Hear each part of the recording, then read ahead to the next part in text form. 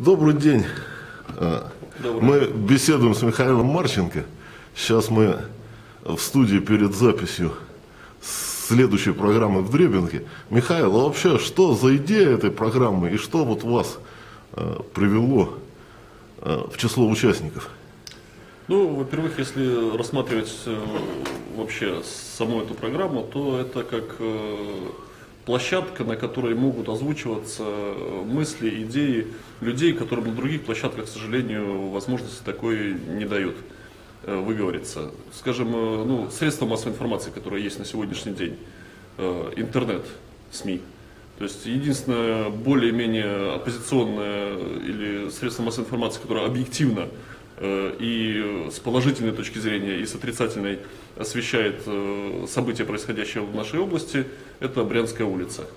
К сожалению, остальных, э, такие как э, Брянск Today, то есть, э, ну, все-таки острые темы они стараются обходить.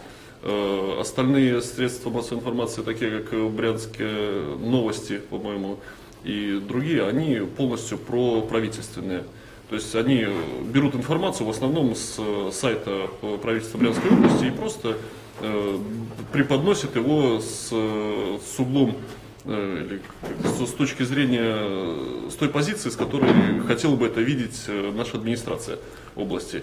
Из печатных СМИ вообще сложно сказать, кто у нас сейчас есть оппозиционный. Единственное, это комсомолец Брянска, но у него э, достаточно ограниченный маленький тираж, и за газетой там э, спрашивают, гоняются практически по городу, где купить свежий номер, чтобы э, почитать. Он по- подвергнут такому прессингу со всех сторон, что э, я как бы Владимира Панихина знаю, лично общались, и он рассказывал, как, как- что ему пришлось пережить последний год, наверное, сколько он типографий сменил, э, не то что в Брянской области, в России уже, для того, чтобы издавать, остаться на плаву, остаться в подписке, скажем так, э, свое издание оставить. Ну, о телевидении вообще речь не идет. Поэтому вот единственная такая площадка, на которой э, могут озвучиваться мысли, идеи и какие-то оппозиционно, э, оппозиционные вещи. Это вот канал, который был создан по инициативе, в том числе Александра Коломейцева, который собрал всех, предложил такую идею, и э, вот э, она была реализована. Как уж хорошо или плохо, мы, наверное, сегодня об этом еще поговорим, но я думаю, что она в дальнейшем будет совершенствоваться. И вообще идея выйти в том числе и на прямой эфир, чтобы в прямом эфире нам могли э, звонить зрители, которые нас смотрят, могли задавать вопросы, э, острые, э, неудобные, хорошие, нехорошие, которые их интересуют на сегодняшний день. И мы могли в прямом эфире честно и открыто, вот те, кто был присутствовать, на них отвечать.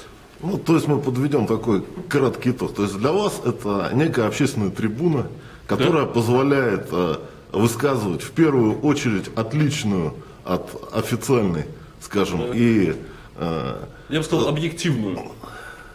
Да, то есть у вас не самоцель, как бы там глобальная какая-то критика или э, Нет, ну, то есть э, э, вы хотите просто свою точку зрения доносить. Объективная оценка, точка зрения каждого из присутствующих здесь или участников э, проекта на те или иные вещи, происходящие в нашем регионе. То есть мы не замахиваемся там на глобальные вещи, да, на выборы в США и так далее.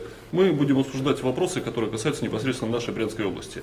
Еще один вопрос не- немаловажный, ведь э, наши брянские власти, они не дают возможности э, провести массовые мероприятия, где в том числе любой желающий там, или э, инициаторы этого массового мероприятия могут выступить на митинге, провести на площади Ленина, встать, э, высказать свою позицию, э, написать резолюцию и передать ее там, в, в органы власти. Такой возможности нет. И я в том числе был инициатором нескольких массовых мероприятий и у нас в Брянске, и в области. И многие мои знакомые, кто подавали заявки на проведение митингов, они получали все отказы. Ну да, тут недавно еще Ну, много обсуждали. Это не мои знакомые.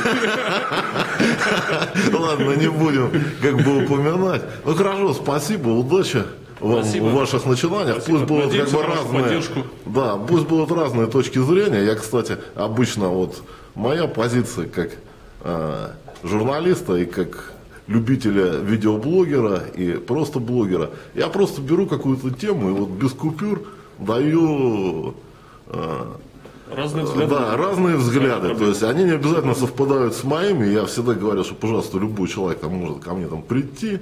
То есть мы запишем, он свои какие-то аргументы выскажет, да, там, может быть, я свои, вот, и я там стараюсь не резать, там, не искажать каким-то образом то, что говорится. Все правильно. Да, и пусть как бы будут разные точки зрения. Ну, да. Так говорится, без купюр. Да, без Как есть купюр. такие. Ну хорошо, удачи вам, всего доброго. Спасибо. Мы поддержим этот проект тоже, безусловно. Спасибо. И-